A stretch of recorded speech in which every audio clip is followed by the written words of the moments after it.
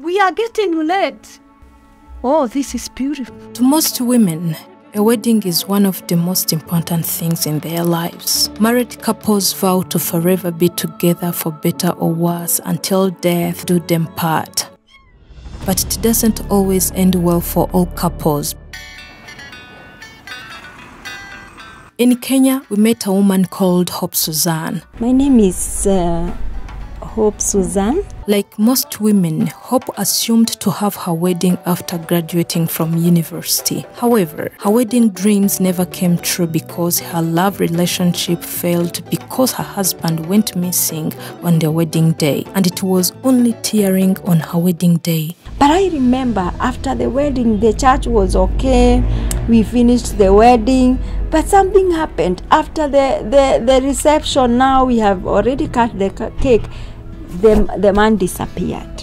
What could have possibly caused the man to leave her wife alone at the wedding? When Hope was in her second year of university, she and her friends, all attending different universities, prepared a trip to Mombasa to go out and have fun. Hope was preparing for the trip even though she knew very well that she would never go on that trip because it required contributing a certain amount of money. Yet, she didn't even have a penny. Finally, on the last meeting of the trip preparations, Hope met a guy who loved her and volunteered to pay for her trip. After the meeting, he asked for my number, although I didn't give him that day, but later on, like even as uh, young people do, he got it from my friend and we started communicating. The guy kept contacting Hope, and it wasn't long until they fell in love with each other. And that's when they started thinking about getting married and live together. When I heard that somebody wants to get uh, to get married to me, I was excited like any other girl. Due to constantly busy schedules involving attending college and preparing for the wedding, Hope never got time to get to know the kind of guy she was going to marry. They met a few times in short moments because they used to meet while one had visited another at the church. But because Hope felt as though she had grown up, she thought it was necessary and decided to pray for her wedding. She says that God showed her many different things about the guy in those praying sessions, but she did not think or care about it. I remember this one particular time I was praying for my marriage. God showed me in a dream wearing a black gown. And I asked myself, why did I dream that dream? But after after after what I will share in the end, you will know exactly God was speaking to me. Bishop Dr. Damaris Kanye, who raised Hope, also insisted, saying that as soon as Hope told them about this wedding, at first they doubted her because they were not sure about this guy, even though they didn't know why they doubted him. We were very, very suspicious about that young man, and our doubts were confirmed on the day of the wedding. In that rush, when she was preparing for the wedding, Hope says she noticed bad habits in the guy while they were preparing to live together but ignored them because there were times she found him drunk at the bar. She was surprised because she thought the guy was an honest Christian who couldn't dare to consume alcohol. She says she continued to love this guy because he was good at hiding his true self to the extent that he didn't make it easy for anyone to know that he wasn't an honest Christian. Also, he was good at begging for forgiveness for his faults, whether big or small. The guy constantly used to send Hope some gifts and Bible verses cards, which were clear that the guy learned very well about what the girl liked and disliked. His job was to ensure the pastor's security at the church. He was the kind of person who showed off his girlfriend to everyone, including his whole family. At the level he bends you into thinking that he's a very innocent, kind guy. That act even made Hope fall in love with him a lot because she thought he was a God fearing guy. However, she doubted him sometimes and wanted to stop the wedding. Sometimes I could feel I really don't want to get married. But another thing it's about the society i wanted to do it for the society and this is the mistake young people are doing you are getting pressure from the society Hope and her lover stayed in love until the wedding day came. This is a day Hope says she will never forget in her life because it was a day characterized by tears and her wedding was dying. During the wedding day, I, I was so sad. The reason being, for example, the video man refused to come in the morning. In my culture, uh, they, they normally to come to the, the, the mother's place, the, the mother of bride's place to pick the bride. And so they used the wrong route. Instead of using the route that there was no traffic jam, the parents used the, the, the, the wrong one and uh, which were was with a lot of traffic. So a bride uh, normally the the weddings the bride is taken at around maybe from 10 a.m so that you can go to church and then in the afternoon you have the wedding but th- these people by even 1 a.m they had not come. And then i started becoming sad. Now you can imagine this is a bride you have already put on your gown the the the the, the, the gown the makeup uh, lady has already made you uh, a makeup and they have um, even uh, left they have left the bride very beautiful. And so uh, that is the moment i started now seeing the reality. I am getting married to a man that i already know. But here i am it's my wedding day and i can't remember I started crying. Have you been crying? You know, the wedding is getting late, and from where I come from, I had I, I was living where I was staying with now this my foster parents, and where where the wedding was, it was very far. So I was imagining it's already one o'clock. They have not come. What about the traveling all the way to the church? It is too far, and I started crying and i could feel that that pain within me because i was saying or maybe he's de- doing it deliberately. But people could call my mom could confirm and say that oh anyway they are still on their way and that could give me hope.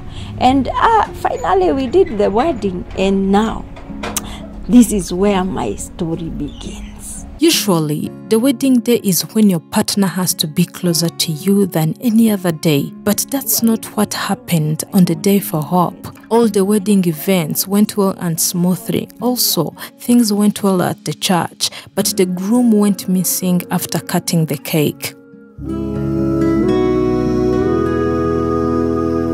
But I remember after the wedding, the church was okay. We finished the wedding, but something happened after the, the, the reception. Now we have already cut the cake. The, the man disappeared. It was a tough puzzle for Hope because she didn't know where to go after the wedding since her husband was the only one who knew where they were supposed to go. We are, I'm in the field with my gown, with no husband. That's how I, I was left. Then after some time he reappeared. And now my best mate asked, Where are you going now after this? He doesn't even know. He was asked, Have you booked any hotel where you are going? He, ha- he was quiet. He said it's a surprise. So he wanted people to go, but we were we didn't have anywhere to go. So that's how my my life started being miserable. But afterwards, I came to realize we are going to his mother's place. We have started the family, and uh, we are at the mother's. Everything the mother used to cook for us.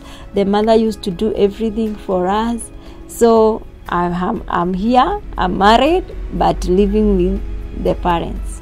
Hope continued to pray for her marriage as she used to before her wedding. One day, when Hope was sleeping, she dreamed terrible dreams. Only she said that God wanted to show her something about her marriage again because she later witnessed those dreams in real life. I slept that night, and when I slept, I saw myself in that dream. I was kidnapped, but the, the people who kidnapped were ladies, and there were many, many ladies. These ladies came and uh, took me like in a in a in a in a forest. They wanted to tie me on a on a tree. One of them said, I have forgotten a knife. Uh, maybe they wanted to kill me. I have forgotten a knife. when she turned, there was a very big name tag behind her when she turned.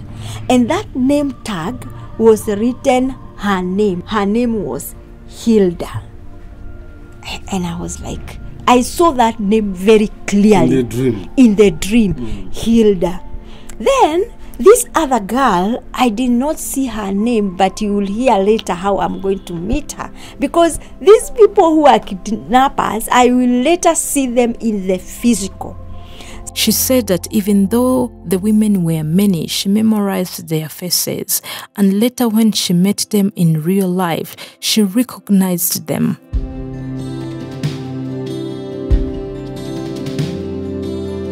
She woke up in the morning as usual. As a woman, she began cleaning the house. As she lifted a carpet to clean under, she saw a piece of paper under the carpet.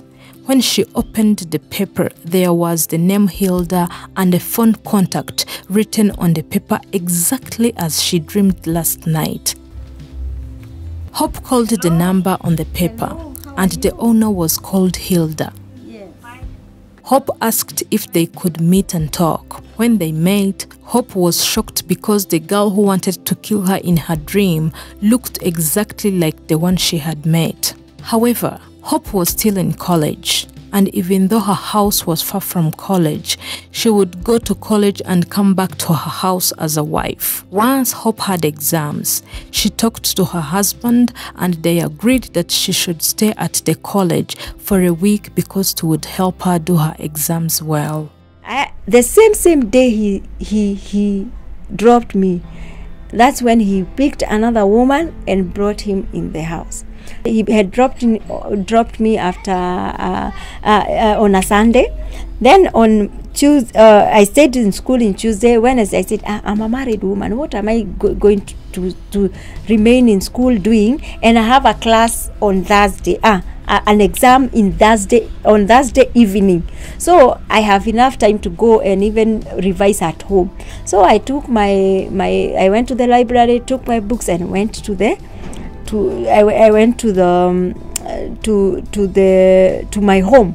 When I arrived, I'm like I opened the door and I started seeing strange clothes. In the bathroom i see strange clothes. When i went to the my wardrobe i saw other clothes. So i called the mother and i called the mother-in-law and the mother-in-law came father-in-law came later and we waited for these people to come but instead the the lady came first when the lady came first, she was shocked to find people in the house because I had my own key and he was given the key by my husband. So she came, she was shocked. She she could not even understand. And you remember already I could recognize this lady. So she start stood there. She she she could not even like a statue there. She could not talk. Then later on, my uh, my my husband came and uh, we tried to solve the issue, but he knew how to pretend he behaved like he has changed. He said no actually he was he was the one who was throwing even the things of that woman out.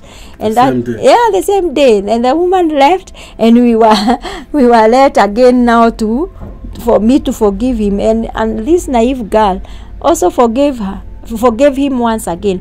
Even though this man broke her wife's heart countless times, he could feel ashamed sometimes, such as when she tried committing suicide.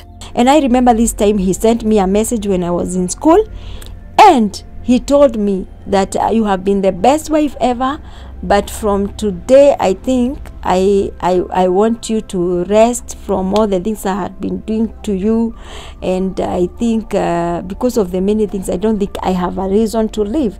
He also sent the same message to the mother telling her you have been the best mother but it's like I put you a lot into shame uh, because of the things I've been doing and so I think I, I have to end my life. So we thought it was jokes and he took poison. I was in school, I was caught, we went to the hospital, and can you imagine how I loved the marriage and this man? I stayed with him in hospital for two weeks, sitting on that bench, waiting for my husband to recover. And when, when he went to the he went for counseling, he said that if I, because that time, you know, I had uh, because of the many scenarios of women, I had I had told the, him I want to leave, and I think he, this was a strategy for him to stop me to leave, you know. And when he realized I'm leaving, that's when he took poison, and uh, thank God he did not die because the hospital was near their home, and uh, he was taken care of, and I forgave him once again. Regardless of the times she forgave him, this man never broke his bad habits because he used to lie to her that he was sent abroad for work. But Hope caught him sleeping with other women in the hotel. It came to a point when this man betrayed Hope in need to kill her or send her to prison. I remember he I he had told me he has gone to another country, but I met him uh, crossing the road with a woman. You know, they were going where they they had parked the car, and he had lied to me. He has left the car in the airport. He has gone to another, and he was calling me. You know, with a WhatsApp, telling me he's in that other country and tell me how it is, how they have arrived. You know, and I remember when I met him now, he decided to come home. He came home, took my phone, and that's how I left that marriage actually. He came home, took my phone, and wrote a message to the woman, uh, to a, that certain woman, and abused and you know you know in Kenya there is law. When you abuse someone they can report you to the police. That's how they she they went took took you see he has taken my phone number. He has sent it to the woman and then that woman and him they took me to the to the police. And that the policemen started looking for me. I was summoned to go to the police and they harassed me. I was taken to a cell for one day and uh, thank god god intervened and i came out. But when i came out the policeman was the one who did me counseling. And they told me that such a man if we were bad people if he had decided to pay tax they could have killed you thank god he paid policemen ah, he, he he he asked us to to call you. Because if it was uh, it was any other person uh, like that they could have already killed you. So you better leave this man because the, there is no marriage here. this is a policewoman that that did me counseling After she heard all those plots from the police, she opened her eyes and looked back at how she had forgiven him many times. This time, she decided to part ways with him. this time i decided enough is enough Hope says that no other woman could bear her husband's faults because she also wanted to abandon him and go. Still, she couldn't bring herself to do it because she did not want to break her marriage since she never wanted anyone to find out that she had problems in her marriage because she was even a marriage counselor at the church. So the time came and Hope separated from her husband, continued the journey of life alone, and continued to serve God, which she still does today. I have continued serving God. graduated? I have graduated. I have gone back to school and I graduated once again.